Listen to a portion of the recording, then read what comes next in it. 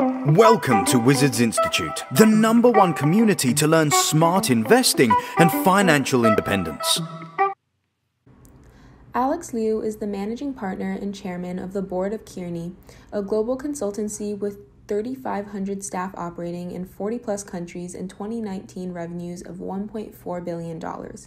He's also the co chair at the World Economic Forum events, including the annual summit in Davos and the WEF on Africa summit. From his work at Kearney and formerly as partner at the Boston Consulting Group, Alex has advised CEOs and boards of top Fortune 500 firms in 50 countries. Great. Uh, good day, Alex. Thank you for being here. Um, I am so excited. Been looking forward to this. First of all, it's a 20 plus year reunion. We haven't seen you for seen each other for a while. That's right. But uh, as you know, we're finishing this book, 10 Commandments of Investing, about uh, really how to invest uh, as guiding principles, but especially in this crazy post-COVID uh, world. And um, really looking forward to this because of your immense background. Um, you really don't need introduction, but I'd love for you to, for the audience that don't know you and don't know Kearney, maybe just give us a bit about the scope of what you're doing and your company. Well, sure. No, thanks. And it's good to see you again. You haven't changed in 20 years, still have the energy and the youthful spirit. Well, you I, look younger. You look younger than 20 years ago. yeah, you know, just good living, right? Um, but thanks for the opportunity, and I really believe in your uh, the purpose of your exploration here. Um, listen, I'm a managing partner and chairman of Kearney, which is a global consulting company. We're global. We work in public sector, private sector. Uh, I'm a globalist myself. I was an immigrant from Asia, grew up in the Americas, been in the business uh, or the profession for 30 years. Um, you know, and I guess we touch a lot of the topics that you're interested in, sort of what's the macro background for companies and countries that are trying to reach full potential. Uh, we're a services firm, so it's a global firm. So we, during the COVID crisis, obviously, I had the same issues as uh, other leaders had, which is how do you keep people together, optimistic, safe, sound, uh, forward-looking, working on their uh, priorities, et cetera. So happy to be here. I mean, we're just a, another citizen in the world. Sure. Uh, uh, Alex, tell us a bit about Kearney. You know, I, that's also uh, a company that I used to work for when, uh, many, many years ago.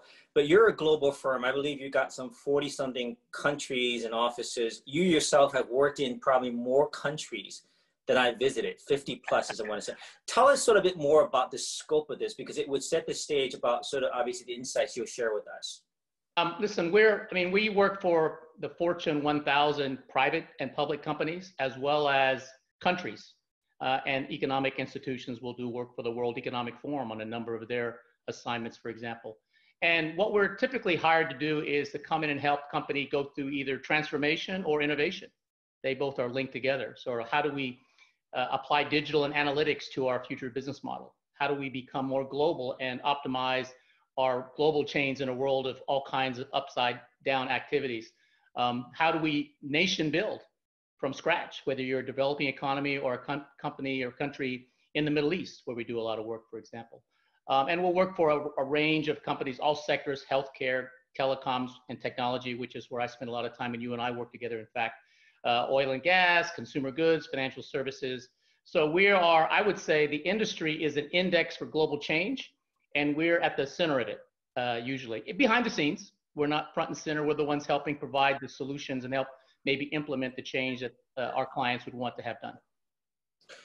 Sure. Uh, again, just one more question. I, you know, when I was at Kearney, we did both operational uh, improvement work for the clients as well as strategic work, right? Just again, can you give us a flavor of some of that type of work for your your thousand plus sort of Fortune thousand clients, and then we're going to weave that into sort of the investment angle. Yeah, right, right. Well, I think our business focus is really in the space of what we call strategic operations and transformation, and they're very closely linked. So there are a lot of companies out there that have these fancy frameworks and visions, and they have things that are going on day to day. We're usually asked to come in and make make that happen, right? Match the vision to the strategy, the operations, the operating model, and ultimately the benefits and business case of everything you're trying to do, whether it's culturally or business wise.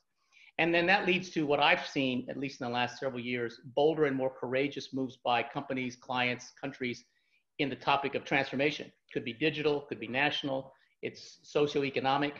because the definition of success for companies these days, which I think should be a theme we talk about later, is much broader than just shareholder value, right? It's stakeholder success, it's the communities we serve, it's the people and capabilities of the teams that we leave behind, as well as the economics, ROI, all those kind of things that need to be taken into place.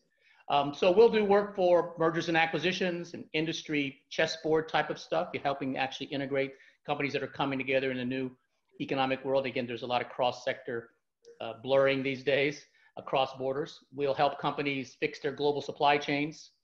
We'll help them get a new operating model. I mean, in COVID, there's just been this mantra of sort of reacting, rebounding, and reinventing. And what we see right now is that the first quartile companies and countries are looking at the reinvention side. Uh-huh. How do we relook at the way we do things? Uh, how do we reinvest? How do we invest in human capital? How do we incorporate ESG goals into the way we look at the future? Um, so uh, it's a it's an exciting place to be. Uh, that's why I've been in it for so long, I suppose. Sure, sure. That's great. Again, thank you for that background. So, from your perch as uh, as chairman CEO uh, running this global firm, Kearney, really you've got you know uh, uh what 10 10,000 plus smart consultants working for you across the world, numerous industries. What did you and Kearney see prior to COVID in terms of the state of the world? And, and I, this is more the global macro economy, and then maybe kind of ease into where you see where, where we are today, uh, and then we'll talk about the future a little bit. Well, I mean, going into 2020, uh, there was synchronous macroeconomic environment in terms of relative growth. I mean, we still had fundamental issues about equality of developed versus developing markets, uh, the digital divide in terms of the access to technology and even human services.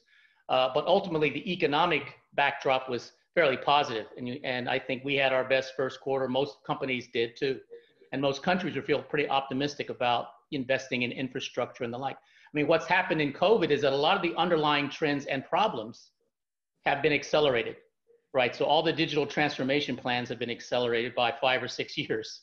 Um, the underlying economic justice and workplace uh, behaviors and culture, of which there were lots of problems racially in the US, immigrant um, and tolerance around the world, gender diversity and equality, those things which were under the surface, so to speak, and happening have also been accelerated and come to the forefront. And again, the economic ups and downs and disparity uh, is crazy it's a multi-speed economy, right? Depending on where you are, the pandemic, climate change, those affect us all equally as individuals. But depending on your country, uh, depending on your status as a small and medium business for a globally traded business, public company or a private company, a state and local government which has funding deficits, or a country that is dependent on others for national security, it's been a very uncertain time. So I would say the current economy, the current context is that of a no normal or never normal world. I mean, even today, as we speak this morning, we heard that the president of the United States has contracted COVID, right? And so that has repercussions uh, beyond sort of an individual bubble. That's important. Um, I see that happening in the next year. Still, uncertainty is the enemy of most proactive investments in business folks. Um, there's still going to be clear uncertainty. I think the disparity between first quartile and fourth quartile performance will be even more stark. I say to my clients that there is there is probably no second or third quartile anymore. You're either going to be winners and big winners. Look at the tech sector, look at the health sector, and the um, the the bottom, the folks that don't change, don't reinvent and rebound, uh, or just just unfortunate in terms of their competitive position. And unfortunately, there's a lot of that examples around the world uh, of that disparity sure. between top and bottom. Uh, Alex, in your view, Kearney's view, or even perhaps your clients' views, um, yes, economy was roaring prior to COVID. Um, is this the blip in your view, or, or, or, do you think this is something deeper? Uh, I mean, you know, the classic V versus U versus W recovery. What, what, what's your what's your insight on that? Well, I mean, I think you have to look at it at several levels. I mean, at the total macro, 10 billion people in the world level, you know 200 different economies um, it's a deflation i think the next year and a half will be there's just mm-hmm. less activity right? You look at the small and medium business sector, which is the heartbeat of most economies, including the United States. Um, you know, it's you have 40 or 50 percent permanent closures that are happening. So you cannot argue with the total level of economic activity coming down. I think what's the story really is within the sectors and the countries. And we talked about the definition of success. So whatever business you're in and whatever country you're in, what has come clear to me and also over years of discussion by business people and government people is that there has to be a broader definition of success, right? Safety, security, security of supply chains, right? Just for your food and health, much less semiconductors and iPhone screens. Um, a feeling of justice, the feeling of economic vitality, being able to invest in the future, having the proper infrastructure, whether it's roads and highways or hospitals and healthcare. Um, those fundamental questions were never at the forefront um, as much as they are right now. And within any sector, if you're working for a capitalist company, uh, they could be in a tough sector, they could be undercapitalized, they could be over competitive. Um, there will be different choices. Uh, and again, we need each other to get through that. Some in some of these companies, especially small and medium business, and some global trading companies will need government assistance. They will need um, cross-border alliances to be successful. They will need a framework beyond what they want to do as individual shareholders of company A, B, and C. Sure. sure. So we're more interdependent. Uh, getting out the solutions will have to require that interdependent thinking and I think leaders that are much more holistic too, right? Not just sort of shareholders, but also workplace justice, diversity, inclusion, um, global supply chains, a sense of being able to manage risk, not just investments. Risk to those investments these days are complete wild card, right? Gotcha, gotcha. Yes, sounds like Kearney does quite a bit of work on the cultural aspect, not just the business or strategic aspect, which is which is fantastic. Um, uh, in this past year since COVID, have there been any clients of yours as you develop the strategies, what is top level or, or operational, or see how they allocate capital investments?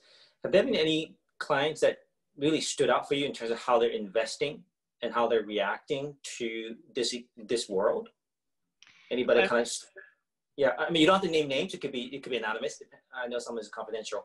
No, it's tough to generalize because each sector was hit a bit differently. I think all companies went through a period of pause and shock, right? There was a three or four month period, including ourselves, where companies suspended guidance, they suspended forward plans, and the people, but then reality is suck in, you know, you have to move forward. And again, that next two phases, which is rebounding and reinventing, requiring a complete rethink actually of the businesses that you're in, has taken place. So I think I would say across sectors, the companies that I see winning in the next few years would be those that actually got out of that mindset of being a victim to be one where we are proactive. We are not victims. We have assets. We have things we need. We have decisions we need to make. Um, and whatever sector, whether it's healthcare, oil and gas, financial services, broadband, service providers, uh, consumer goods, redefining how they connect with consumers, B2B or B2C. I, I see a lot of internal revolution happening. So from a consulting, a selfish consulting perspective, uh, the level of change and momentum from a client need perspective has never been higher. Um, great, great. But the pace of that will change, right? Some companies are uh, having some difficulty, right? Liquidity problems, balance sheet problems, competitive problems, regulatory problems. Um, but in the long term, beyond next year, let's say, I, I see boom times for the change business, if you will. Uh huh. Okay. Okay. Great. Uh, what maybe we'll talk about geopolitics again. You're in a great perch uh, beyond CEO of uh, Kearney, but also being uh, ethnic Chinese American, like my ethnic Chinese American now Canadian, I guess, like myself. Uh, I know you're originally from Taiwan, and I'm from the mainland China. But how, how do you see this what's your view of geopolitics in, in particular obviously china-us relations right? What is there any crystal ball or any specific position that you and your clients are are i'm trying to yeah. Well i mean I, it's obviously a, a key uh, factor in global investments sort of the nature of uh, relationships bilaterally, multilaterally, and China is the beginning and ending of 70 or 80 percent of the world's supply chains, right? Both from a size of middle class on the buy side as well as manufacturing and, and other uh, key parts of the global economy. I mean, 50 years ago, when I was an immigrant from Taiwan, at that time, uh, we were leaving uh, Taiwan to go to the United States because we were worried about military activities in the Taiwan Straits and were fearful of being an immigrant minority in the Southeast United States, where my dad was a professor for over 30, 40 years. Uh, 50 years later, now, it seems like it's the same. Nothing's changed. Yeah, it hasn't changed. um, but the the urgency of of the action and the visibility of the issues are so so prominent because everyone is dependent on each other, right? China China is such a is a source of carbon emissions as well as a source of manufacturing. So there's good and the bad. Um, and so, so the interdependency is so much more clear now than they were 50 years ago. At that time, it was just sort of block A versus block B versus block C. Now we still have block A versus block B versus block C, but the economic uh, interdependencies, the cyber competitive, computer related, digital related interdependencies are so much more intertwined. Yeah, that's a really interesting topic, and I know Kearney uh, specializes quite a bit in logistics and supply chain. So, yep. so uh, again, maybe without naming names of your clients, but uh, for for most of your clients that are dependent on China, right? What what is the base case now recommendation given escalating geopolitical issues? Uh, uh, is a recommendation to to you know stay the course in China? Is it to diversify? If so, where do you diversify your, your your, supply base from? I mean that that's really I mean obviously that would drive a lot of investment decisions from outside as well. Yeah, there's clearly no one size fits all. And I, I remember spending a lot of time 20, 30 years ago helping Western companies get into China. It was like the Marco Polo, riches beyond compare. Yes, yes, yes. That's all happened. But a lot of those companies have gone completely local. So they're local mm-hmm. for local manufacturing to serve the local consumers. Uh, the companies that are dependent from a global export side, obviously they're looking, you know, import export side are clearly looking at other uh, options, alternative sourcing and shoring of activities. Um, and that's just part of the broader mandate or imperative to have resilient but interdependent supply chains. It has been disrupted. Uh, you can't count on uh, a similar set of backdrop for the next period of years. Uh, you have people and countries that have different time horizons. I mean, China has 10 year, 100 year plans, and the US has a quarterly reporting cycle for public companies and a four year, two year, six year election cycle for politicians. So uh, that's not going to go away. But the, the business discipline, the investment policy has to be grounded in a balance, right, of risk and upside, of scenario based planning. We do a lot of that for our clients. Um, but very few clients are now dependent only on China manufacturing. They have other alternatives. They have to, you know, modify certain parts of their business mix. Um, you know, they have pricing alternatives as well. Uh, but China as a market is not going to go away for sure. But uh, realistically, Alex, what is the like for for for a, a large manufacturer? What is the alternative to China? I, I mean, I don't I mean, maybe I, am not an expert at all, but it seems to me like it is very difficult, if not impossible, to break away from China, in, from a scale and cost standpoint, right? I mean, what yeah, I mean, country, I, what country can compete? Yeah, I'm not sure you will have a, a, another country that will replicate everything that China has. I think you have to look at all the global resources and and uh, alternatives there's a lot of governments that are trying to improve their manufacturing footprint, whether it's Indonesia or Middle East, Africa. There is low cost labor that needs to have more upskilling in order for them to provide the same level of efficiency, effectiveness, reliability as existing suppliers anywhere in the world.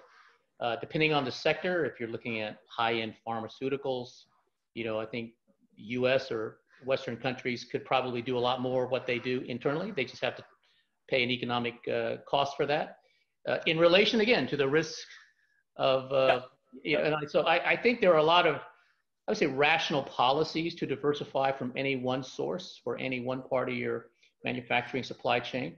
Um, but it will take some time. Right. Right now, we're helping clients with their scenario planning. Um, you know, these are the the general levels of options, the general level of economic outcomes, the things that you'd have to believe. Uh, we are the thought partner uh, for World Economic Forum on the topic of the future of production, which mm. is a broad term. It includes global value chains and how they will migrate over time, whether it's apparel, which again was the original entry product for a lot of and light manufacturing and electronics in southern China, and that grew to all kinds of other things. And and and you you see shifts over time too. I mean, Korea started out very low end and went very has gone very high end on some key segments of the electronics sector. So if you look at countries out there in the world that have that ambition, a multi-year ambition to be an economic powerhouse in certain sectors, areas, domains, uh, that will happen. There will be alternatives to China in, in hardcore manufacturing. Um, it'll just take time to nurture it. Yeah. Yeah, I think you, you mentioned uh, other parts of Asia, Southeast Asia. I think you mentioned Indonesia and Africa. Uh, to my understanding, again, by, by no means the expert, those areas are actually dominated invested in by ethnic Chinese, right?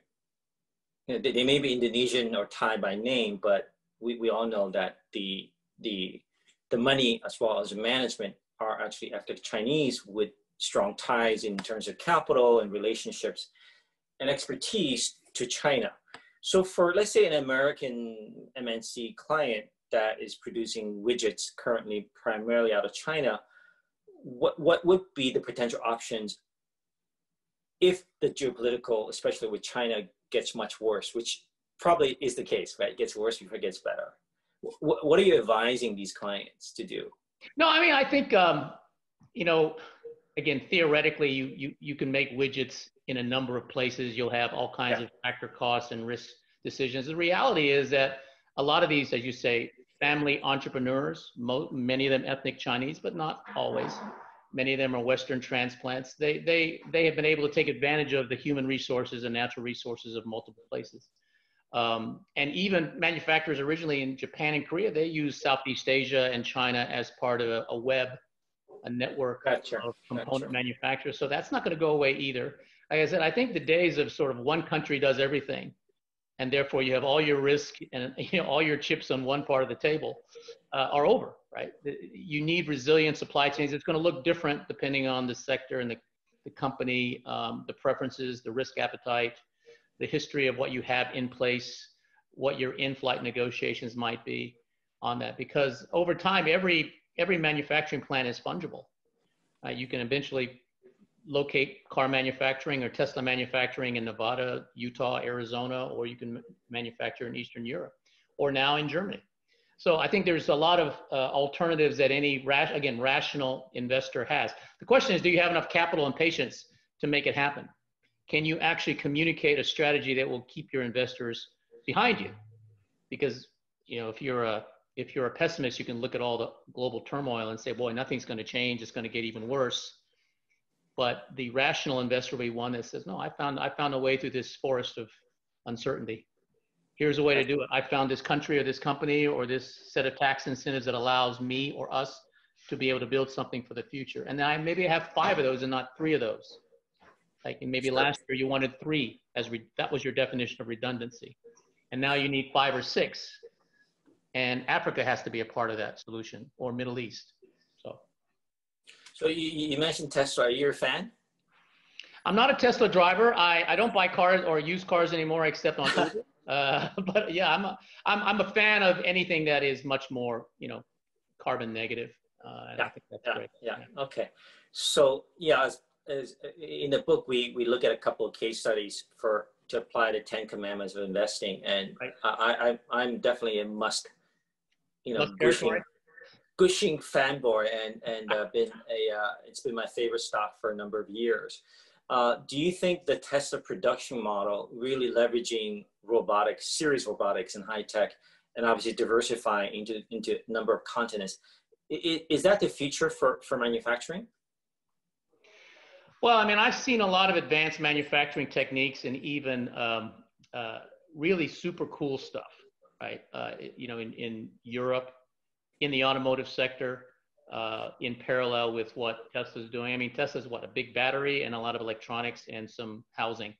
And I think it's if you simplify to what actually you're making and doing and applying the latest robotics and AI and manufactured support technology, uh, you know, I'm pretty optimistic that they're, they're doing the right things. I'm not an expert on Tesla or the automotive sector, um, but I do see across across a number of industries alliances to be able to, to take applied technology and uh, to the manufacturing realm, to the gotcha. shop floor. I mean, even even competitors in Germany that are OEMs that have been vertical competitors for years are now collaborating on some of the advanced manufacturing platforms.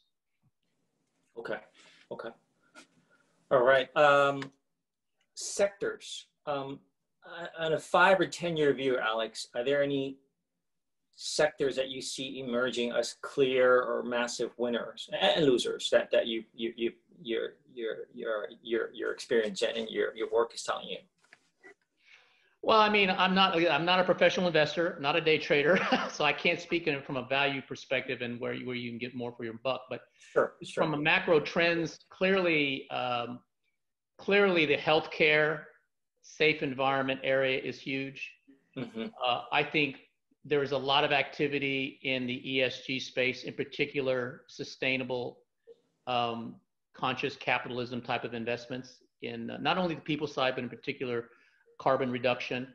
Um, there's some new technology that is now going to allow us to basically real time trace all the emissions by factory by country. And that allows you to sort of respond as entities, but also companies. And how do you do that? I think the recycling of uh, all the stuff that's been manufactured, whether it's chemical manufacturing, um, uh, you know, in finished product versus part products, components, underlying acids, et cetera. That's there's a huge aspect of that part of the we call the circular economy.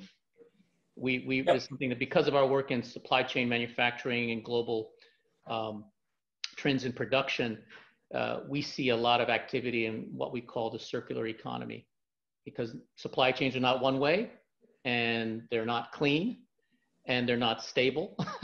they are two way, volatile, and they need to be multi-circular. Um, you know, I still am a big fan of technology. You know, I'm a, as an on an investment side, I just follow the big trends. So I've always, for 20, 25 years, invested in index stocks in international and in technology. I'm not allowed because of my role in my company and our profession to invest in individual stocks because we, as you know, sometimes work for competitors or companies and sectors. So, and we have a lot of insider access. So we are not allowed to make individual stock plays. But from a sector perspective, I think international trade and international growth is still there. Um, the technology side of things. Um, and I, I see growth in every individual sector that we serve in, whether it's in banking. I mean, the, the, the substitution of digital payments for traditional going into a retail branch payment, that's going to continue. So we do a lot of work in digital payments, for example. Healthcare, we're helping pharmaceuticals innovate and uh, accelerate how they produce vaccines and treatments, as well as improve the delivery models for healthcare to citizenry, whether they're in California or, or in Kentucky. Um, you know, in the telco space, which I did a lot of work in, we're trying to make sure that we help our clients, you know, provide better solutions from a B2B and a B2C side, whether it's IoT enabled or AI enabled, cyber secure, cyber protected, um, so I think there's a lot in the technology, healthcare, and also in the public sector on the infrastructure. There's a huge building boom that's happening because of all the huge fiscal stimulus, clearly, right? To get the economies out of the doldrums, out of the ditch, uh, but also the replenishment of infrastructure, road, gotcha. information like that. Those are key sectors. So there's, but my view is that, you know, Steve, there's there's a there's growth in every sector. It's not one versus the other. Um, we do need to manage, I think, the environment much more consciously and clearly because you know you can't just go from 10 billion people to 15 billion people and assume that the food stocks the resources the habitable land the water supply all those things will not be there so i think there's a lot of i don't know what the answer is but there will be some business uh, cases for helping that become even more sustainable us become more sustainable sure sure so yes opportunities in, uh, in, in all sectors uh, as it should be but for um, healthcare, ESG, tech, and the public infrastructure type sectors. I'm curious on this. I, I, did a bit of work on the circular economy. I did a, small investment in actually black soldier flies, which consume uh, waste. Um, really? And I know places like the city of Guelph in Ontario are, is trying to to rebrand and, and develop into a circular economy. I'm just curious, Alex, in your work with Kearney, uh, what what what is the best example of a successful circular economy city or, or, or company or you know however you define it? Well, one thing we're doing, and it's not quite public yet, but is we have trademarked and are a architect of what is called Circular Valley in okay. Europe. You've heard of Silicon Valley, of course, and there's some analogies, right? You need a critical mass of institutions, public sector funding and will, companies that are at stake, right? Whether they're polluters or people that want to pollute less. Uh, and in, in Western Germany, uh, we have been a pioneer and founder of what we call the Circular Valley there. It's still in the early stages, and I can't speak too much about it right now, but it's ultimately a consortium of, and a community of companies and countries uh, that are trying to develop the latest technologies, uh, be a forum, and be role models for applying this. So if you're manufacturing elevators, as they do in Western, uh-huh. in Western uh-huh. Europe, or if you are a big airline or a chemical producer or a retailer, uh, you are a part of the problem and a part of the solution. So we're trying to apply that concept also in the United States. So there could be a, a circular equivalent, maybe not a valley, maybe it's a basin, maybe it's a mountain, maybe it's a, a, a, hill, hill country. But th- there are some aspects of that that um, um, we want to be a founding provocateur for. Outside of that, we are working obviously with a number of companies that are trying to become much more compliant and better citizens on that because it's good economics too, as well as complying with, you know, Paris Climate Accords or minus 1.5, minus 2 type of uh, standards in the future, being net zero. And we are doing the same ourselves, right? How we address scope one, two, and three emissions. But it's not just carbon, it's also the things that we produce. It's plastics, right? It's disposable. Gotcha, gotcha. Uh, th- th- this may be too detailed. I know it's it's early. Uh, how, how how do these economies, these certain economies, deal with the waste part? Like like consumable waste. Again, uh, with the with the city of Guelph, one one idea was essentially to, to have these bug farms that eat the waste that that are, that are coming from the supermarkets and whatnot. Have you seen other interesting technologies or products? I mean, the the the black fly one is a cool one. I mean, I yeah yeah, it's a, it's a crazy, crazy bug.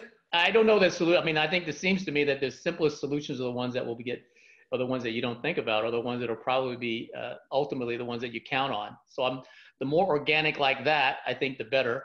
Um, all I can say is that I, I know that there is a comprehensive look at the type of approaches, not only demand reduction and management, but also the way we design products, the way we deliver them, the way we actually are physically able to recycle them to try to make it less. And then there's also collecting what's already been made.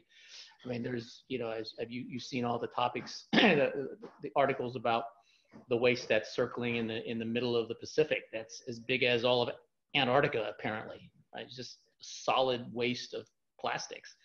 What do you do with that? How do you, you ship it out? You just send it into a spaceship using a Tesla spaceship out into, just get it off planet Earth somehow.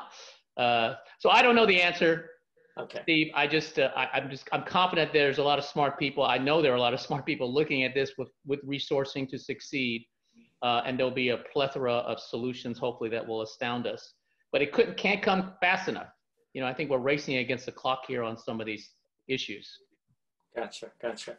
Uh, Alex, this is great. I got just two more questions. I know you're super, super busy, so I appreciate this. Um, I know you're not a professional investor, but uh, I'm going to I'm going to push you because you have a brilliant mind and even a brilliant, crazy experience. Uh, that, so I'm going to push this. Uh, your son or loved one that has no investment experience comes to you says, "Hey, Daddy, you know, I, I just got hundred thousand uh, dollars. Where should I invest this hundred thousand dollars? Invest, not trade, for let's say long term, 10, 20 years."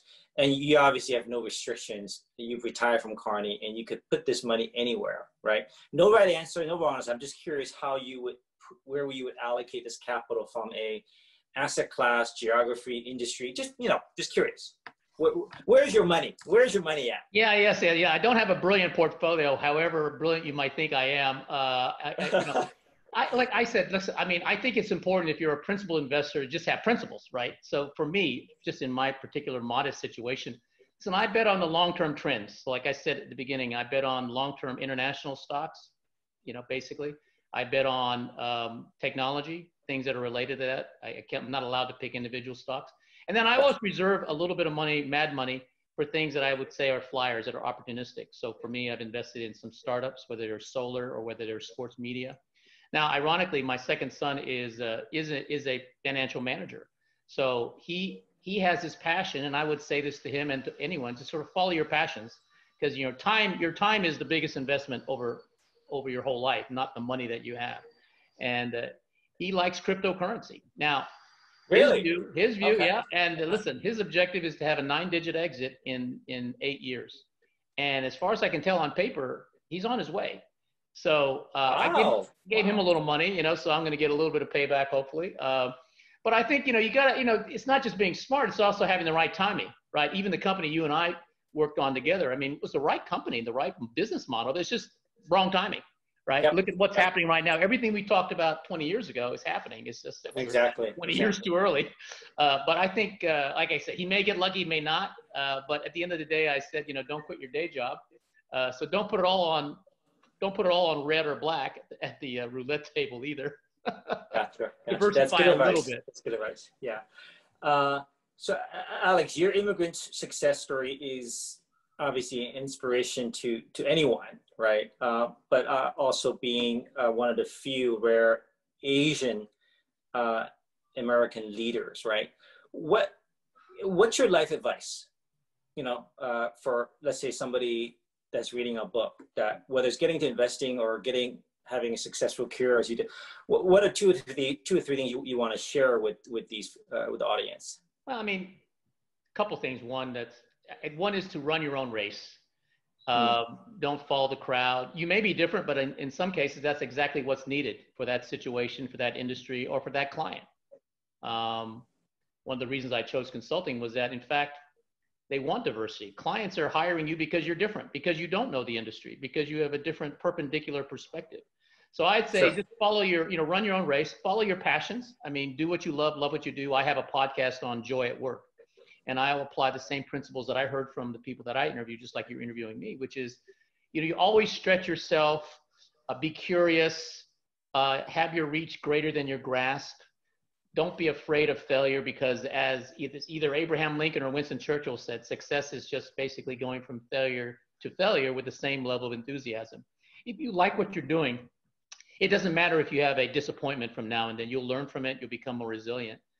So I guess those are the ones that come to mind for me. You know, it's worked for me. I've always been on the outside of society, if you will. You know, the non-dominant part, and you and I know that. You know, you're you're you're an immigrant or you're to this or to that, but that just gives you a little bit of a chip on the shoulder.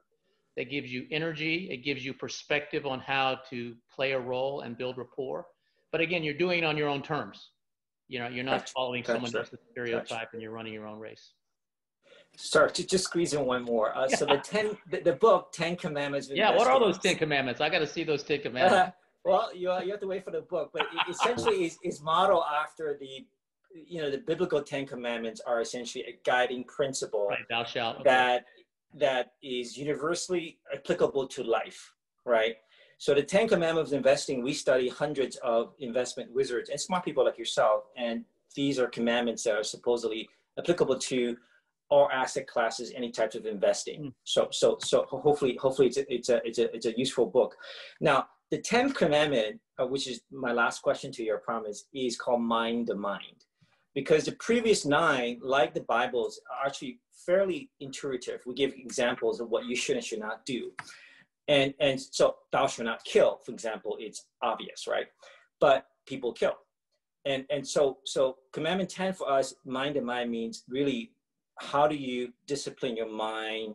How do you make things happen knowing the other nine principles? So so for alex liu running this massive organization globally keeping so fit and so young wh- what are some of the things that you do to mind your mind and to keep disciplined to keep healthy and, and um, that we can learn from? Well, I mean, I always try to communicate and transmit a spirit of gratitude. Uh, no matter what problems we have, no matter where you are, you should feel grateful for what you have. I, you know, I think we're, I'm a lucky person. Uh, in a lucky family, I learned from my father uh, and he went through much worse than I did. You know, I mean, I don't want to go through the story, but and he always was smiling, said, you know, I think it's fine. You know, I got my family, I've got my self-respect, I've got my integrity, uh, I've got my colleagues, and you know, you the more you connected with each other, obviously, you're happy. So I think uh, there's got to be an overarching spirit of of gratitude about who we are and gratefulness. And it's not just spiritual it's not just religious i think it has to be personally and authentically felt. Um, during the covid times there was a lot of sharing of, of lessons learned and things to do and you know you need sleep and sunshine you need diet and exercise you need friends and family but you also need a sense of the future right? You need a sense of purpose. And for those that are working it's about finding joy in the work that you have and in the colleagues that you have now and looking at the positive side of that. So I, I, I agree with your 10th commandment, which is it's all about your mindset. You have to have a happy, future based, forward back mindset for it all to make sense. Otherwise, you're just you're just a rat in a wheel, right? Just turning around doing what someone else wants you to do. Exactly. That, that's not fun. Okay. Okay. Great. Okay. Well, this has been fun. It's amazing to catch up, Alex, and uh, a lot of a lot of learnings. We'll uh, we'll get this posted as soon as possible, and hopefully, uh, you know, lots of people will learn from it as as I have. Well, we'll see. Well, same here. I appreciate the opportunity to catch up with you, and good luck to you and your family. Great to hear about them as well. Thank you, Alex. Bye now. Yeah. Bye bye. Thank you for joining us. Please visit Wizards Institute to access the blog summary of today's session, to learn more about other speakers, and to network with other investment wizards. Wizards Institute, the number one community to learn smart investing and financial freedom.